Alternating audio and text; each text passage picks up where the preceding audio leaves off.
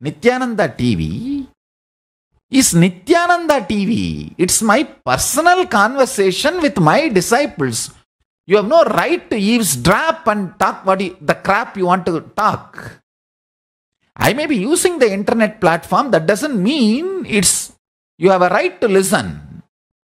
Nithyananda TV is only for the disciples and devotees of Nithyananda. And trolls, haters, abusers, you are eavesdropping. Of course, that is your profession and what to do.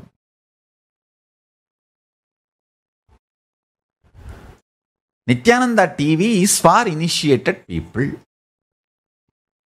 And if you are interested in understanding, have little involvement and map the super science principles I am talking and the statements and conclusion I am delivering.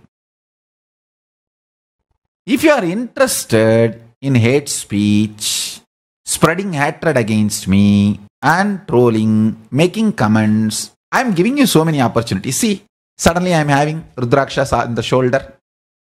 I am dressing up. So talk about that. No problem. Nobody will be disturbed. But foolishly, if you talk about the principles I am talking, people are disturbed. So that is why I am saying make fun of my dress, make fun of all the other things which